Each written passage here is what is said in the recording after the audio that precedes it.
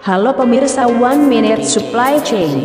Siapa tidak mengenal Tesla, merek mobil listrik paling ikonik, yang didirikan pertama kali 11 tahun yang lalu oleh Elon Musk. Dilansir dari supplychaingamechanger.com kita bisa ambil beberapa pembelajaran supply chain dari Tesla sebagai berikut satu. Jika belum yakin jangan terlalu percaya diri, Elon Musk pada awalnya menjanjikan bisa mengirimkan 500 ribu unit mobil pada pelanggan, namun pada akhirnya menyadari sulitnya menjalankan produksi massal dan perlunya membuat pengumuman di awal agar pelanggan tidak kecewa.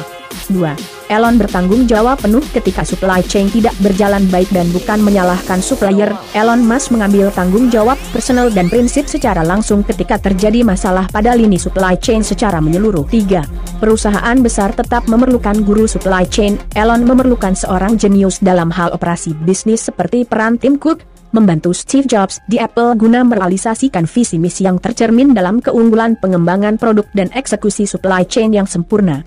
Nah kira-kira, bagaimana pandangan terhadap Tesla, menurut pemirsa One Minute Supply Chain? Jangan lupa komentarnya ya, dan tentunya, subscribe versi channel ini, biar tidak ketinggalan update mengenai supply chain selanjutnya. DJ Verzi 01